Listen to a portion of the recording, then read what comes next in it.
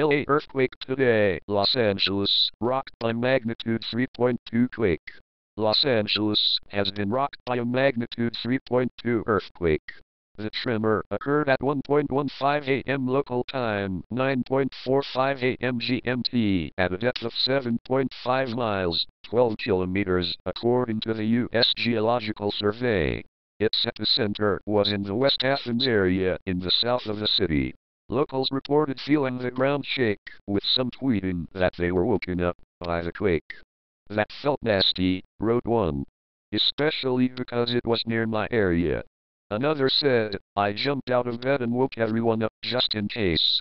Felt quite a strong shake in downtown LA, tweeted another.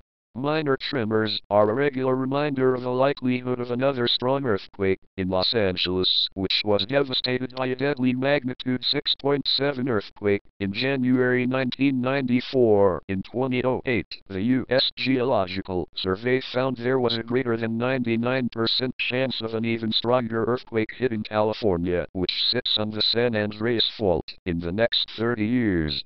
The report warned that type of quake could kill 1,800 people, injure 53,000, and cause $214 VN, 162 VN, damage. There were no reports of any damage after Friday's tremor, but it raised fears of a more serious quake. Honestly thought it was gonna be the big one, said Cynthia Gomez on Twitter. Lacey Knoll replied, same. I feel like it's not over yet. A shallow magnitude 3.6 earthquake was reported on Thursday near Anza, California, about 140 miles from Los Angeles. In October last year, a flurry of more than 140 small tremors under a lake near the San Andreas Fault raised fears of a massive earthquake.